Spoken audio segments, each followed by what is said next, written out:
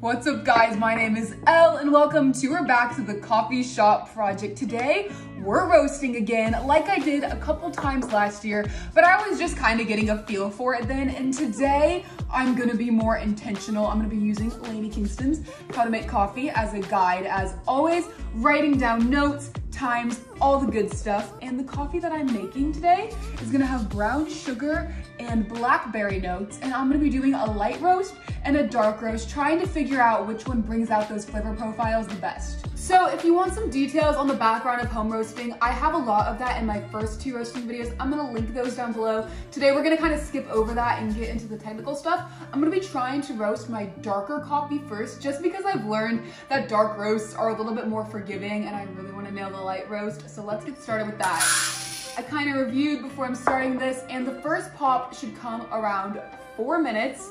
I think we're gonna take this out around more 10, but let's get started. So I have my timer going, we're gonna watch that like a hawk, take notes as we go, and I'll touch base when something happens.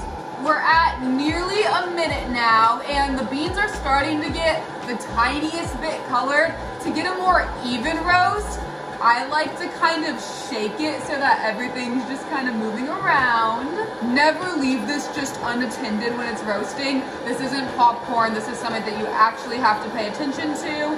At about a minute, we have the, is it the chaff? I think it's the chaff, right? The chaff is starting to come off the beans, kind of makes a mess. Cleanup is not fun here, but the reward of roasting your own coffee is worth it. They're looking good, relatively even. There are a few ones that are burnt in there already but it's all gonna even out.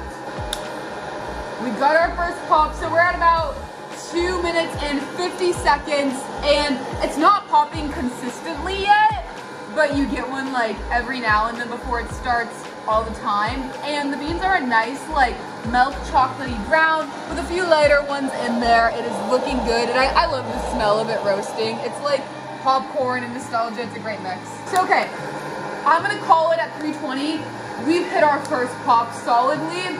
And if I were just to kind of turn it now and set it, it would be a lighter roast. Again, we're going for our darker roast, so we're gonna keep it in here until we get that second pop. Okay, so the first pop's over. We're not hearing it anymore. I'm thinking in about a minute, minute and a half, we're gonna start hearing our second pop, but I'm no professional, so we'll see.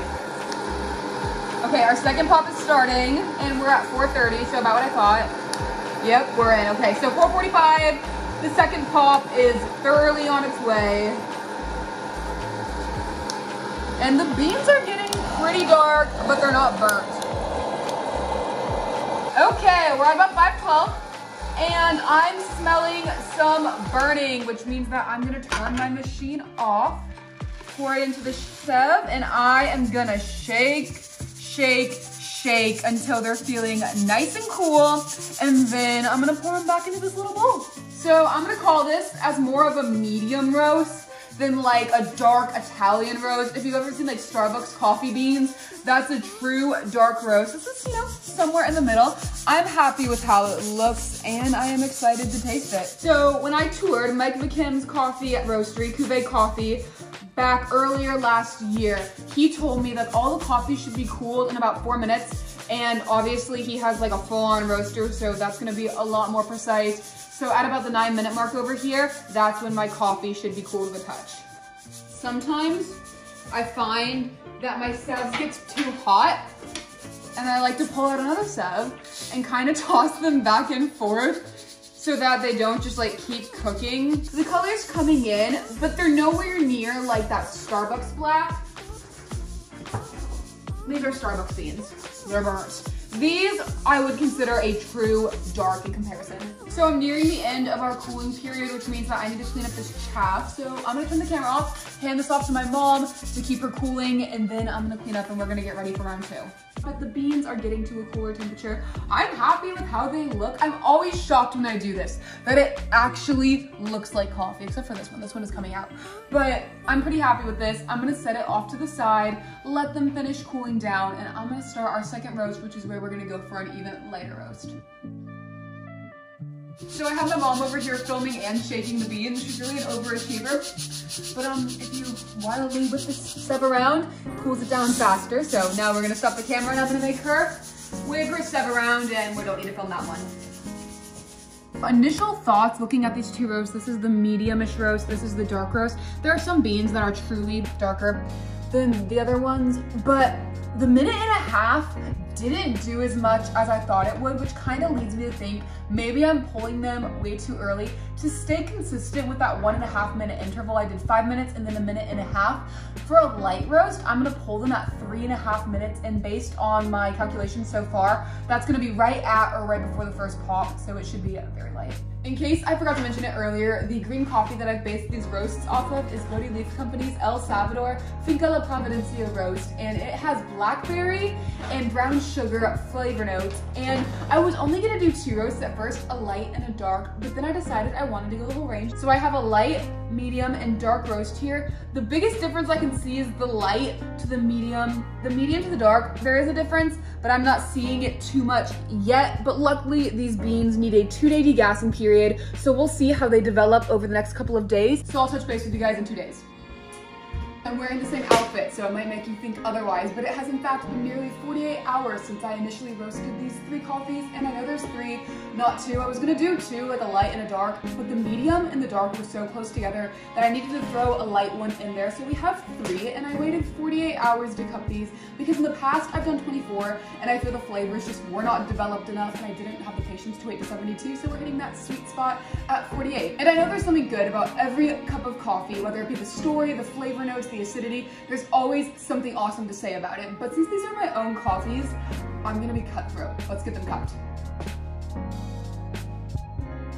So like other coffees that have berry flavor notes, this coffee smells really potent. Potent's a bad word. What's a better word for like potent, like flavor smells? Um, aroma. Aroma. So it has a really strong aroma, similar to the blueberry smell and the coffee that I tried from US Roast a couple months back.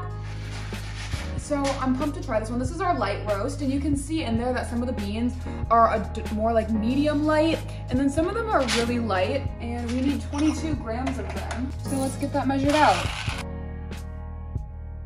My favorite part of the whole coffee experience is that first grind smell and it's even more rewarding when it's your own coffee. I'm gonna set this to a 15 on my Breville because it's way less precise than a professional machine.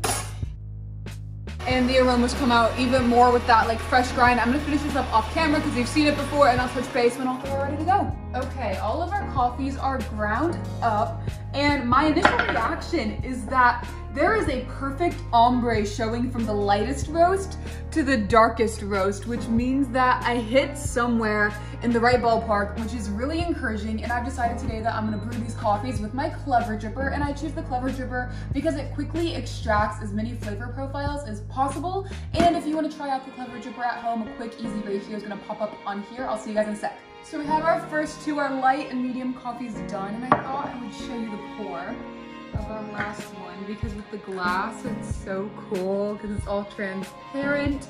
And the initial thing I'm noticing is that you can't see the color difference if you look dead on at the glasses with the coffees, but if you look from the top, I'd like to believe that there's a little bit of color variation there, but we will see with this last one, that'll really tell. And if you look at the top, you can decide for yourself if you think there's color variation there like all things in coffee, we're gonna say it's pretty subjective. And this is my own coffee, so like I said earlier, I'm gonna rip this apart, and while I'm ripping it apart, we're gonna apply the four principles of coffee tasting, my favorite. And that starts with smell. We're gonna go light dark, by the This is really weird. It smells kind of like Sharpie, really faintly. We're gonna see how that tastes.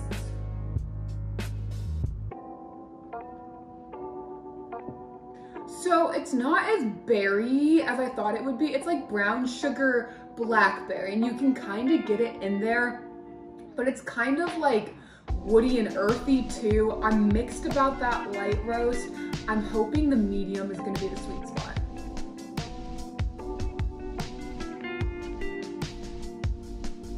Maybe it's the mug. That Sharpie smell is still there. That's so weird.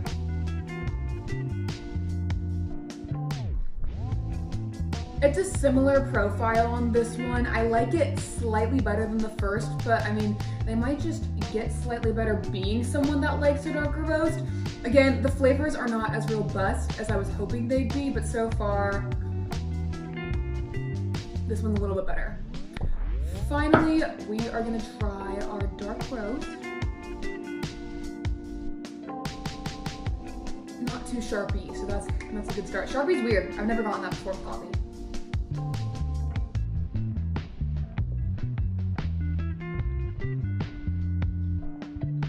Of the three, this one's by far my favorite. It could be because it's the freshest and the warmest right now, but I just like how the watery body of it sits in your mouth, and I like the subtle flavor of the blackberries with a little bit of acidity like there on your tongue. The light one isn't doing it for me. The medium one's okay. If I had to expound on this roast, I'd probably work with the dark one and maybe even take it that one step darker.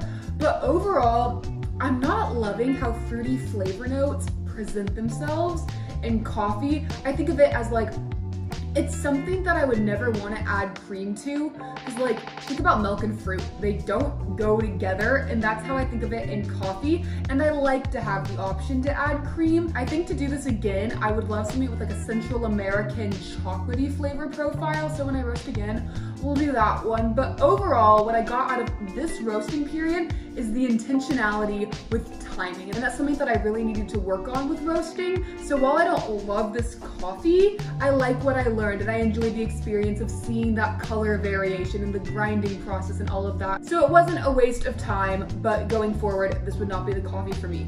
Anyway, thank you so much for watching this episode of the Coffee Shop Project. If you liked it, I would love if you would consider subscribing and you can follow me on Instagram at Elle Greyson. TikTok is just the Coffee Shop Project and I will see you somewhere else on the internet. Bye guys.